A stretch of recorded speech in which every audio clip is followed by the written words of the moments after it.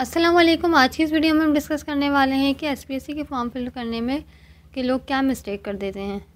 कुछ लोग ही मिस्टेक कर रहे हैं और फिर कमेंट भी करते हैं कि हमसे ये मिस्टेक हो गई है और उसका सोल्यूशन क्या है। हम आज वो भी डिस्कस करेंगे। जब आप ऐसी एसपीएससी की किसी जॉब के लिए अप्लाई करते हैं तो आपने करना क्या होता है कि सबसे पहले रजिस्ट्रेशन करानी होती है और फिर अपनी पर्सनल इन्फॉर्मेशन देनी होती है और फिर आप आते हैं अवेलेबल जॉब्स में। अवेलेबल जॉब्स में जाएँगे देन आपने अपना डिपार्टमेंट सर्च करना है कि आपने कौन से डिपार्टमेंट में अप्लाई करना है। यहाँ पर डिपार्टमेंट का नाम दिए गए हैं और आपकी जॉब कौन से डिपार्टमेंट में आपने ये सर्च करना है। अगर आप सब्जेक्ट स्पेशलिस्ट के लिए अप्लाई कर रहे हैं तो आपने क्या सर्च करना है? यहाँ पर department school education and literacy department जब आपको डिपार्टमेंट मिल जाएगा तो आपने फिर वो सब्जेक्ट सर्च करना है कि आपने कौन से सब्जेक्ट के लिए अप्लाई करना है। फॉर एग्ज़ाम्पल आपने अप्लाई करना है सब्जेक्ट स्पेशलिस्ट इंग्लिश अब आपने देख लिया, यहाँ पे लिखा है subject specialist English open merit male यहाँ पर कौन अप्लाई करेगा? जो कि जिन लोगों ने जो मास्टर्स किया हुआ है इंग्लिश में, वो यहाँ पर अप्लाई करेंगे मेल उसके देन उसके बाद क्या है? Subject specialist English disable persons वो लोग जिन्होंने मास्टर्स किया हुआ है इंग्लिश में, वो डिसेबल पर्सन हैं, वो यहाँ पर अप्लाई करेंगे. देन उसके बाद है, एक subject specialist English minorities male वो लोग जो कि क्रिश्चन है या नॉन मुस्लिम है, वो लोग यहाँ पर अप्लाई करेंगे। इस तरह से आपने देख कर अप्लाई करना है अपना सब्जेक्ट और आपने, अगर आप सेकेंडरी स्कूल टीचर के लिए अप्लाई कर रहे हैं तो आपने डिपार्टमेंट भी देखना है और फिर अपना आपने रीजन भी देखना है। यहाँ पर डिफरेंट रीजन की जो है जॉब पोस्ट हुई हुई है। हैदराबाद रीजन की अलग है, कराची रीजन की अलग है और सक्कर लाड़काना इस तरह से रीजन के हिसाब से जॉब पोस्ट की गई हैं। यहाँ पर हम देख सकते हैं लिखा है secondary school teacher SST Hyderabad region minority female यानी कि यहाँ पर हैदराबाद की वो फीमेल जो कि सेकेंडरी स्कूल टीचर के लिए अप्लाई करना चाहती हैं और माइनॉरिटीज़ में से हैं, वो अप्लाई करेंगी यहाँ पर। अगर आपने गलत पोस्ट पर अप्लाई कर दिया है तो आपने करना क्या है कि आपने अपनी वही जॉब देखनी है जिसमें आपने अप्लाई करना था और उस पर दोबारा से अप्लाई करना है। और उसी चलान की बैंक इन्फॉर्मेशन प्रोवाइड करनी है जो आपने एक दफ़ा सबमिट कराया है। इस तरह से क्या होगा कि आपके पास दो एडमिट कार्ड आएँगे, एक वो जो आपने गलत अप्लाई किया था और एक वो जो आपने सही अप्लाई किया है।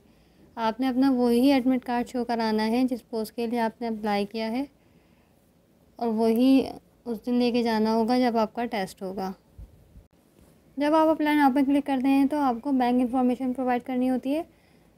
यहाँ पर क्या कंफ्यूजन लोग के बैंक रिसिप्ट डेट यानी कि वो दिन जिस दिन आपने चालान जो है बैंक में सबमिट कराया, उस दिन की डेट यहाँ पर लिखनी है। डेट मंथ और ईयर तीनों चीज़ें लिख रही हैं। अब यहाँ पर सेकंड क्या है? बैंक रिसिप्ट नंबर अब लोग यहाँ पे कंफ्यूज हैं कि बैंक रिसिप्ट नंबर क्या है? बैंक रिसिप्ट नंबर वही है जो कि बैंक ने आपको प्रोवाइड किया है। जब आप अपनी फ़ीस जो है वो बैंक में सबमिट कराएँगे तो बैंक वाले आपको चालान पर एक नंबर लिख कर देंगे। वो नंबर आपने यहाँ पर लिखना है बैंक रिसिप्ट नंबर की जगह। ये इसको चालान नंबर भी कह रहे हैं लोग और यही है रिसिप्ट नंबर यहीं पर वो चालान नंबर लिखना है। दैन उसके बाद क्या है? बैंक नेम यहाँ पर आपने बैंक का नेम सेलेक्ट करना है ड्रॉप डाउन से। दैन क्या है? ब्रांच नेम जिस बैंक में आपने चालान सबमिट कराया है, उसकी ब्रांच का नाम यहाँ पर सेलेक्ट करना है। और देन रिसिप्ट अमाउंट या यहाँ पर आपने वो अमाउंट लिखनी है जो आपने पे की है।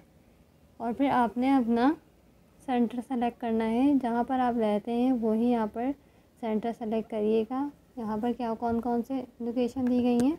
यहाँ पर चार ऑप्शन गिवन है, कराची, हैदराबाद, सखर एंड लाड़काना अब आप जहाँ पर रहते हैं, आपने वो सेंटर सेलेक्ट करना है और कंफर्म सबमिट पर क्लिक करना है। कुछ लोगों की प्रॉब्लम ये है कि वो अपना, उन्होंने पास में कभी जो है वो एस पी पे अकाउंट बनाया था और अब जब वो अपना एन आई सी एंटर कर रहे हैं और दोबारा से रजिस्ट्रेशन कराना चाह रहे हैं तो वहाँ पर लिखा हुआ आ रहा है कि C N I C already registered और उनका प्रॉब्लम ये है कि ना तो उनका ईमेल एड्रेस याद है और ना ही पासवर्ड तो वो अपना अकाउंट रिकवर कैसे करें? ये बहुत से लोगों को प्रॉब्लम आ रही है तो इसका सोल्यूशन क्या है? कि आपने करना क्या है? आपने सबसे पहले एसपीएससी की वेबसाइट पे जाना है।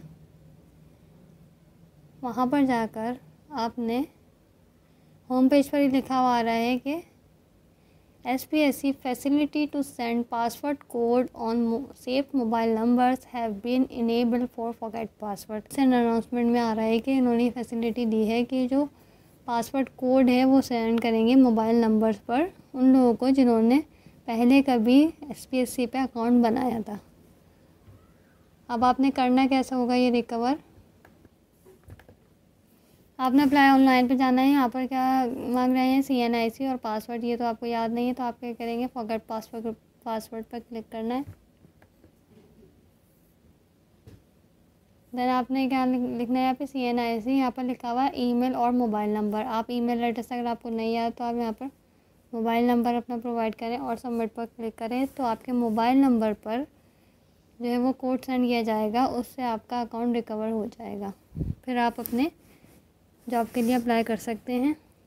आपका सी एन आई सी एक दफ़ा रजिस्टर्ड हो गया है, इस वजह से वो ऑलरेडी रजिस्टर्ड लिखा हुआ आ रहा है।